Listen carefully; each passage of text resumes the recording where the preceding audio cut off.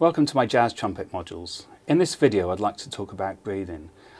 My thoughts about breathing is, is probably one of the most